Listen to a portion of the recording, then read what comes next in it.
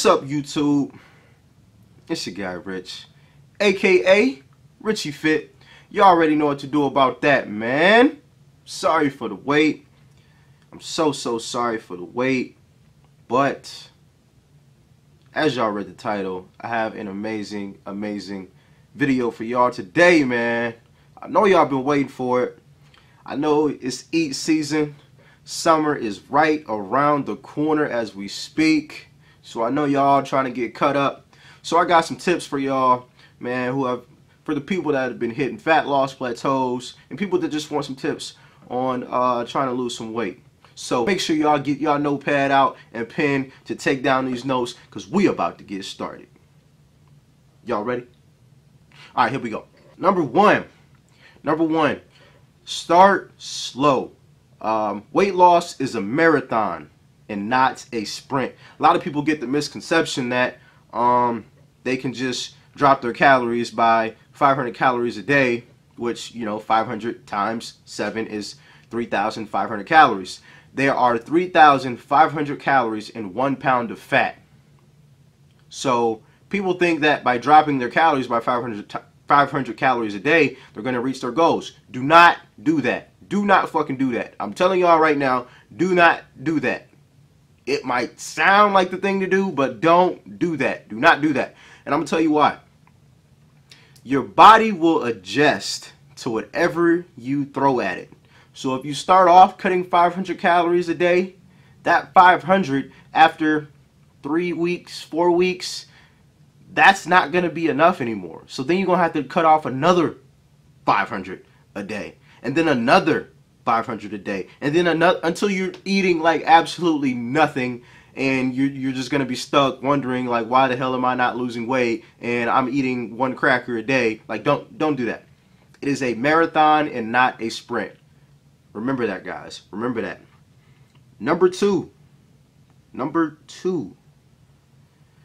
A lot of people think that um just by eating just by hitting a certain calorie number, they're good. No, eat cleaner. Eat cleaner.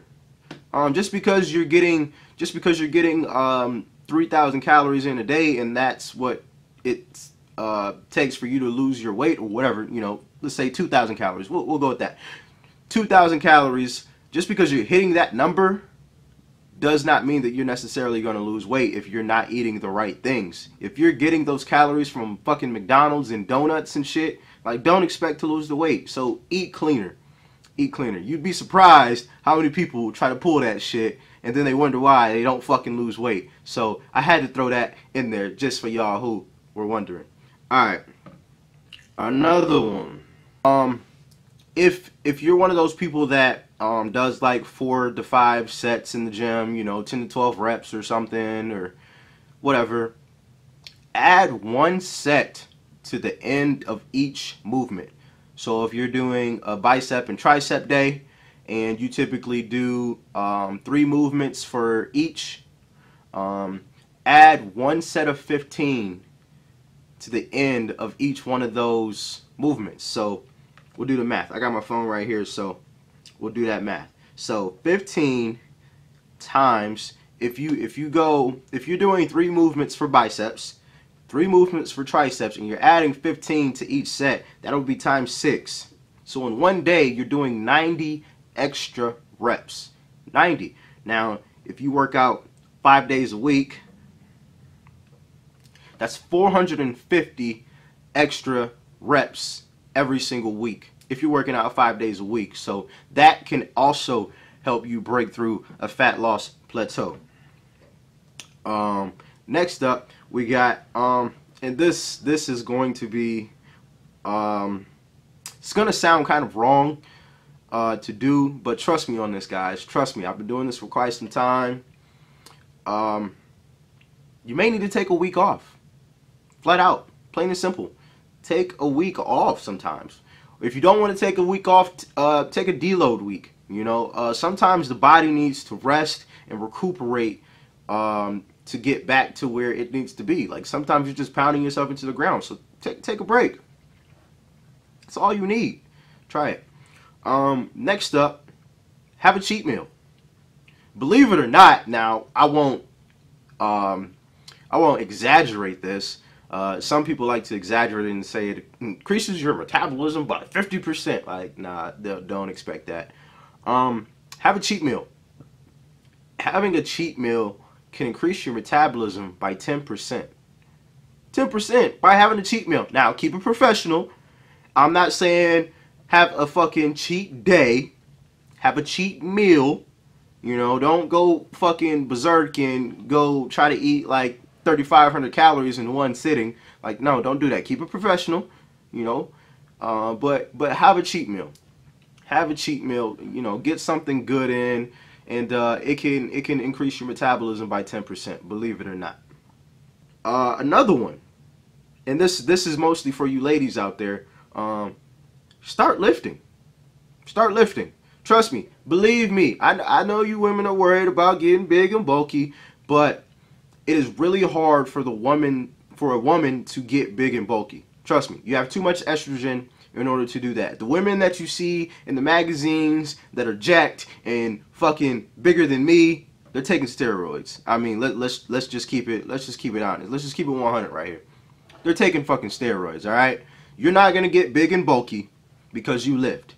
Um, think of it this way. The bigger the engine, the more gasoline it burns. Same thing with the body. The more muscles you have, or the more muscle tone you have, the more calories you can burn. Um, me at uh, 200 pounds and a woman who's 200 pounds aren't going to be able to eat the same amount of calories. Um, I have a lot more muscle than a woman does, so I can get away with eating a lot more calories than a woman who is 200 pounds would. So start lifting some weights, ladies. And for you gentlemen who don't lift weights, that like to get on the treadmill and run on, lift some weights. Lift some weights. All right. Um, if you don't already use a thermogenic, if you're comfortable using a thermogenic, use a thermogenic. I mean that that that in itself can can aid in that weight loss journey, can help you break through a fat loss plateau. Now I'm not say, saying thermogenics are miracle pills. All right, let's get that straight. They're not fucking miracle pills, okay? But they can help. They can help with your weight loss as well. So add those in if you've got the money for it, or if you're hitting a fat loss plateau and you don't already use them. Also, um, when it comes to cardio, like I said, the body adjusts to whatever you hit it with.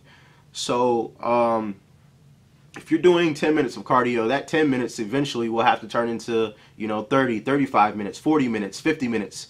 Instead of instead of doing all that, add in some HIIT training. Add in some HIIT training, high intensity interval training. It's all out effort. Well, here's an example. Um, get on a bike, stationary bike, pedal for 60 seconds at a steady at a steady pace, nice steady pace, and then go all out as hard as hard and as fast as you can go for 30 seconds and then go 60 seconds at a steady state and then all out for 30 seconds that's what HIIT training is um, it'll it will help you burn more calories during and after you're done believe it or not you continue to burn calories after doing cardio and that effect and that um, effect is is multiplied when you do HIIT training versus um, just jogging on a treadmill at a steady state. So throw in some HIIT training. Um, that can help you break through your fat loss plateaus. Next up, drink some damn water. Drink some water. Um, a lot of most most people really don't get in enough water a day. Believe it or not. I mean, the body is over 70% water. Like that fact alone should tell you how important water is to the human body. Um, it helps flush out all those bad toxins and uh, helps kick uh, turn on that metabolism in the morning to get you going. So make sure you are well hydrated throughout the day, and that can um, really help with uh, your fat loss. Um, one other tip um, is just like doing simple stuff. You know, um, instead of parking, you know, really close to the door of wherever you're going into to work or to the grocery store or to the gym, um, park farther away um, instead of taking the elevator, take the stairs. Um, those those extra calories um, may seem very minute, but over time they add up. um, and they can aid you um, in your weight loss journey. So add some smaller things that may help you burn extra calories, and over time, that will add up and help you in your weight loss journey. So there you go. Lastly, um, but certainly not the least, I'll end this video here. I can't give y'all all my tips now, all right? But I, I'm I'm I'm trying to give y'all some good ones, okay? All right. So last, reduce your stress. Um, when you stress, you produce a hormone called cortisol, and basically, what cortisol does is, uh, to keep it short, we won't get too technical with it, but it tells your body to store fat. So reduce your stress. Like, uh, you know, um, get out of those stressful, whatever stressful situations you are in. Get out of those. Um, the way I, the way I walk through life, man, and this may help some of you. Um, if I can change it, why stress about it? I'll just change the situation. You know what I mean? So there's no need to stress about it if you can change it. Just make the adjustments and, and change the situation. If I can't change the situation, why stress about it? There's nothing that I can do about the situation. It's already predetermined. I can't do anything about the situation. So how is stressing going to change what situa situation I'm in? So that that's the way I walk through life, man. You know, I, I rarely ever stress about anything. I can't tell you the last time I stressed about anything. You know, I, am pretty smooth, you know. Um, but yeah, um, if that helps you, you know, go through life with that mindset. If you can change it, why stress about it? You can change the situation. It's going to be changed. It might take a little time, but shit, so what? It's going to change. So there's no need to stress about it. If you can't change it, such as a death, why stress about it? I mean, it's fuck stressing about the situation. You know, if it if it were a death, stressing about the situation isn't going to bring that person back. So why do it? A little food for thought for y'all, man. But with that being said, make sure y'all mash that like button Make sure you comment down below as well. Oh, and hit that subscribe button before you go too. You know what I'm saying? Because we keep it real. I keep it raw. And I keep it authentic. And remember, you can't say fit without putting Richie with it. Let's eat, family. Let's eat.